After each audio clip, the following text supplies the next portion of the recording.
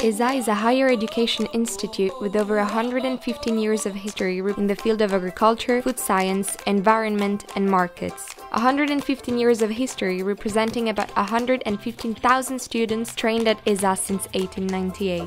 On est un GAEC euh, de 4 personnes, mes parents ont tous les deux fait l'ESA et euh, mon mari du coup il est, euh, il est ingénieur géologue et euh, il a refait un BTS ACSE au sein du groupe ESA euh, juste avant de s'installer en fait.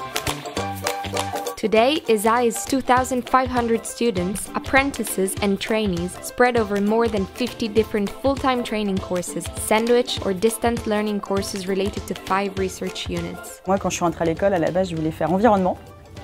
Et puis euh, au bout d'un an, je me suis dit qu'en fait l'agroalimentaire c'était pas mal. L'avantage en fait c'est qu'on fait un stage tous les ans, donc ça ça nous permet vraiment de nous confronter au milieu. On a eu l'opportunité de, de, faire notre master à l'étranger. J'ai choisi le premier semestre euh, aux États-Unis, à l'université du Wyoming, et ensuite euh, deuxième semestre euh, au Mexique.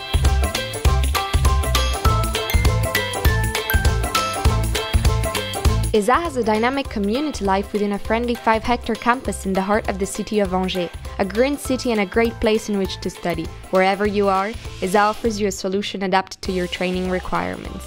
Choose from our two year vocational certificate courses, professional bachelor's, master's, and ingénieur degrees.